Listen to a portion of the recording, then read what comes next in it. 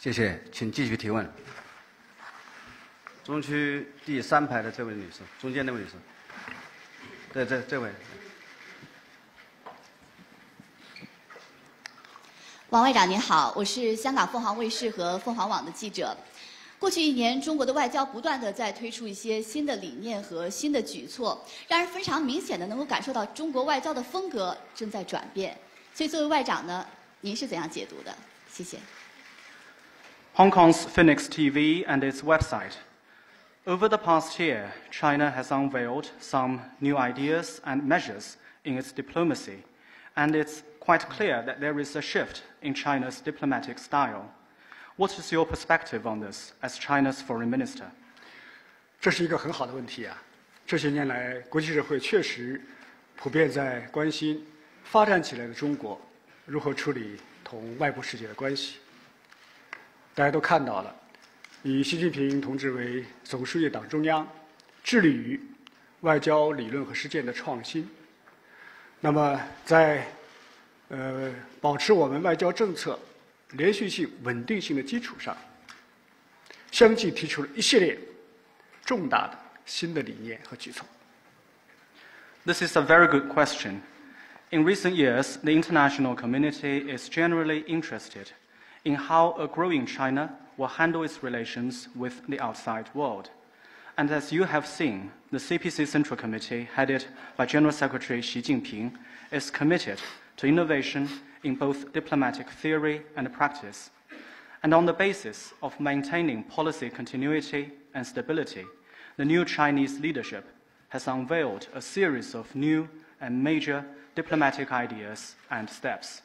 比如，构建新型大国关系，这是要打破大国之间往往冲突对抗这一历史宿命，要走出一条合作共赢、惠及各方的当代的新路，我想，这体现了我们处理大国关系的新思维，也体现了中国对国际社会的责任和担当。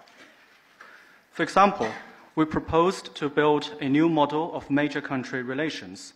This is to break the historical pattern of conflict and confrontation between major countries and to find a new path in the modern era that seeks win win cooperation and delivers benefits to all parties. I think this shows a new approach on the part of China to handling major country relations. It also shows China's sense of responsibility for the international community. 再比如，提出亲诚惠容的周边外交理念，就是为了进一步展示中国对邻国的诚意和善意，愿意同周边国家一道打造命运共同体，这是中国周边睦邻政策的新发展，也展现了中国开放和包容的胸襟。And let me give you another example. We have proposed the guideline for our neighborhood diplomacy, featuring amity, sincerity, mutual benefit, and inclusiveness. This is to further demonstrate China's sincerity and goodwill towards its neighbors and our readiness to work with them to build a community of common destiny. This is a new advancement of China's policy towards its neighbors and shows that China is more open and accommodative. 再比如，要树立正确的义理观，就是要在同发展中国家打交道的时候，要坚持道义为先，更好的重视和照顾他们的需求。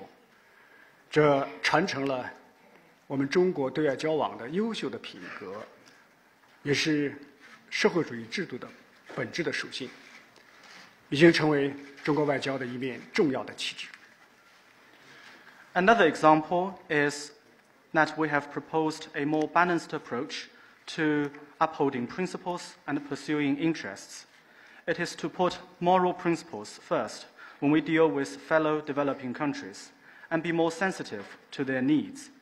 This keeps the fine character of China's external engagement, reflects the inherent nature of the socialist system, and this has become an important banner of China's diplomacy.